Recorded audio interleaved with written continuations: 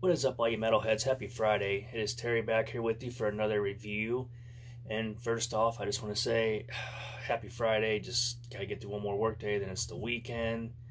I'm ready for it. I'm going to see Monster Jam this weekend. Very stoked about it. And it's just been just like a long week. And it's, I, it's like when, like once Friday gets here, it's like, fuck, I'm ready for the weekend. So I hope all you guys are going to have a great Friday. And I hope that you guys all have a great weekend. So cheers. Here's to you guys to the weekend. Also, uh, earlier I got some more good concert news. July 18th, Slaughter is going to be here in St. Louis, and I've never got to see Slaughter, and I'm looking really forward to it. It's just, I don't know, I, I'm just so excited that live music is finally getting its big comeback, and you know, I, I just can't wait to get back to shows and Slaughter, it's going to be a good show. Never got to see him. Been a big fan, so I'm looking forward to seeing Slaughter. I'll probably uh, do some videos and hopefully maybe try to, um, if I get lucky enough, maybe interview one of the guys from the band. But hopefully, time will tell. It's still July. We still got a while to go. But anyway, on this video, I wanted to uh, talk about an album that came out June 13th, 1985, called Invasion of Your Privacy by Ratt. Show you guys the vinyl there. Just the back of it. Ah, yes, Ratt.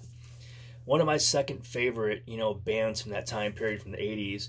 You know, people call it hair metal. Some people just call it crap. Some people hate it. I call it rock and roll. You know, Motley Crue, Ratt, Skid Row, Dokken, those are some of my top favorites. You know, I, I love LA Guns too, Faster Pussycat.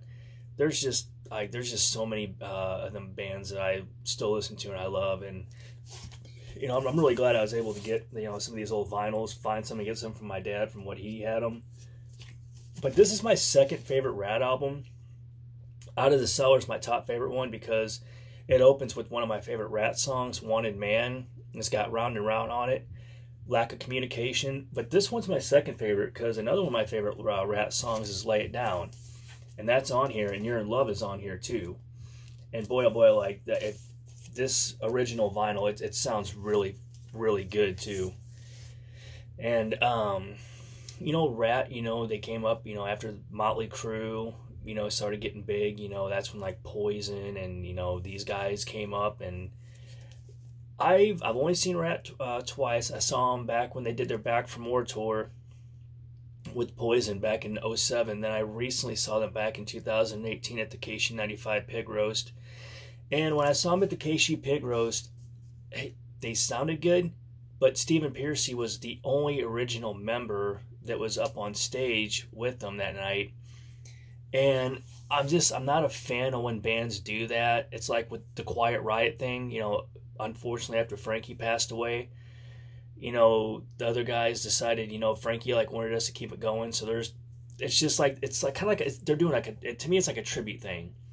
All the original members are gone. You know, it's and it's, it's like the whole Van Halen thing. After Eddie passed, you know, everyone was like, "Hey, Wolf, like, have Wolfgang, you know, jump on the guitar and do it." And like Wolf's like, "No, no, no, Eddie, no Van Halen," and I respect the hell out of him for that, and I totally agree with him you know, it's like the whole Pantera thing. You know, Zakk Wylde stepped in to play guitar, you know, for Dime, but then you know, unfortunately, Vinnie Paul passed. You know, no Dime, no Pantera. That's just how I am. But when I saw Ratt from that time, like they were, they played all the hits that I wanted to hear.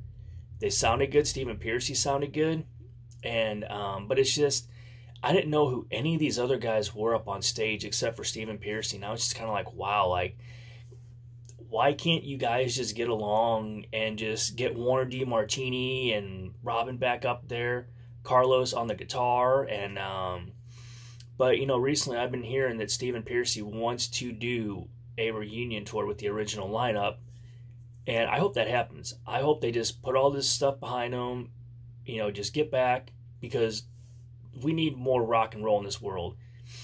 And you know, these days, you know, I feel bad for the kids because they do not get the rock and roll that I grew up on. You know, I am so lucky and blessed. Like, I got to grow up with, like, you know, hearing my dad play this album and Out of the Cellar, Guns N' Roses, Motley Crue, and it's just like we. Like, for me personally, I just I just wish Ratt would just put all this nonsense behind him. I know like Warren and Bobby the drummer, like they were in they were in court, you know, battling over stupid shit. And it's like, you know what, you guys, can't you just put the stuff aside and just let's play this? Let's just get together and give the fans what they want. And um, it's kind of like you know, I know a lot of people are pissed off about the whole Motley Crue thing because Motley Crue broke up after stating they were going to sign a contract never to tour again.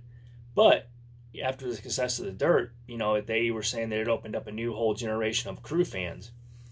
And needless to say, like I, I was just happy. The final tour that I saw Motley sucked, and I've seen them on way. I've seen Motley Crue numerous times, and their final tour, like when I saw them, was like the least favorite one.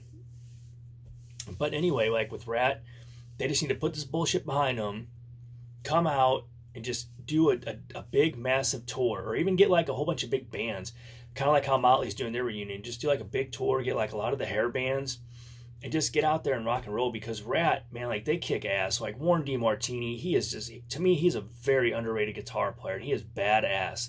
When I did see him in 2007, I remember like kind of like being in front of the stage and like Warren was just like ripping it up and like there was moments like he was playing shit so fast like I was like wow like you know he was just tearing it up and I can't the other guys when I saw him in 18 were good but they didn't come nowhere close to what Warren was when I saw him on the Back from More tour so you know what, you, you know maybe fingers crossed, you know for all for you know for me for all you guys that are you know old school rock and rollers that love this kind of music, you know love Ratt. Maybe hopefully we'll get that news one day saying they're going to come back and they're going to do a reunion tour, and we get the Ratt that we love and we know, not the Ratt that Stephen Pearcy's got going on now. But this uh, this album though, I do love the song "Lay It Down," and it sounds really good on it, especially if you got like one of the original vinyls. I'm not sure if this ever had like a re-release or not, but this was one of my dad's. Uh, you know, personally, you know, he he kind of gave me his vinyl records. You know, as I started getting into music heavy, and this is one of the original ones, and it, it sounds really good too. And um, you're in love. That like that's that's another good one too. But this one's got this one's probably got about three songs I like on it, as to where Out of the Cellar's got more songs on it that I like. But anyway, still like this is my second favorite Ratt album, and if I would give it a seven out of ten, a, a solid seven out of ten. You know, of course, for me, when it comes to Ratt, it's always going to be Out of the Cellar. That's probably like a lot of people's you know favorite ones. But you know, this is still a Invasion of Your uh, Privacy. This is still a good kick-ass rock and roll album and it man it just it vinyl sounds so much better. And i'm, I'm so glad that vinyl's getting to come back too because i absolutely i love it. And this is an original one too. This was what my dad had probably before i was even born. But anyway though um, what's your guys' thoughts on the uh, invasion of your privacy album? What's your guys' favorite song on it? What's your guys' favorite Ratt album? I mean do you guys hope to see Ratt do a reunion kind of like what motley crue's doing let me know in the comments below, you know. And also, if you like these old school classic rock vinyl reviews and horror movie reviews, click that like and subscribe button. More good things are coming. And when I hit that 50 subscribers mark, I'm going to be doing a free giveaway. It's either going to be a NECA horror figure, a band t-shirt, or an, a signed 8x10, or you know what, if I if I get the chance, you know, to meet Slaughter, I might get a couple 8x10 signed by the whole band to send out to someone. But anyway, as always, thank you guys so much for taking time out of your schedule to stop by and watch. I very much appreciate it. And hope you guys have a safe Friday and hope you guys have a safe weekend. My next vinyl review is going to be Iron Maiden Days of the Dead, the newest three disc Iron Maiden vinyl, and it kicks ass. It's gonna it's gonna be a good review. But as always, you guys stay safe. Thank you guys for watching. Till the next time.